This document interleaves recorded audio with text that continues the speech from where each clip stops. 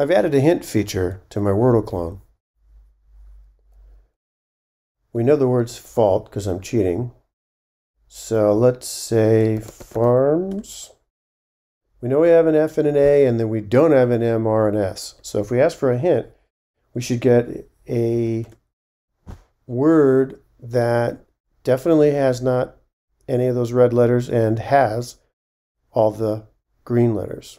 So there's the F and the A, and there's no M, R, or S. So it suggests final. Let's try that. Final. Okay. And what did we learn from that? We added an L and we subtracted an I. So that should improve the hint. Now the hint is awful. Let's try that. And we added a U and we subtracted a W. So the hint should have more information to go on and should be better. And now the hint offers the answer. Let's see how the code works. Uh, the new code is shown with this mark in the gutter here. Um, you see, I created a new function, find hint. So all this is unchanged. And I added a tuple of the hint command, so you can type hint or h. And I had to modify get valid answer so that if you type one of the hint commands, it doesn't enforce the word length or the rest. Down here, once we get a valid answer, we see if it's a hint command, and if it is, we call find hint and show that hint. Otherwise, we proceed as before. Let's look at find hint. Here it is. It doesn't really cheat in the sense that it would take advantage of all the information. It doesn't consider the actual word that you're trying to guess at all when it produces the hint. It just looks at the hits and the misses. So we've got these data structures. Let's see if we can if we can find them.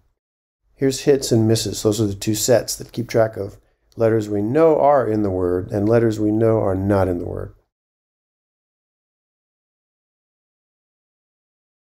So, what do we do? We call words with hits, put that in a list. So, let's look at that.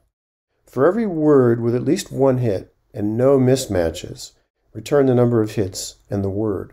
So, we go through all the common words, we make a set of the letters, and then do a set intersection between the letters and hits, and then pass that to len, and now we have the number of matches for this word. And the, num- and the mismatches comes from the intersection of letters and misses. Then we can say if num matches, which means not zero, and not mismatches, which means that's an empty set, then we yield a tuple, num matches, and word. So let's just see what this looks like when we run under the debugger. Um, human, humus, and then a hint.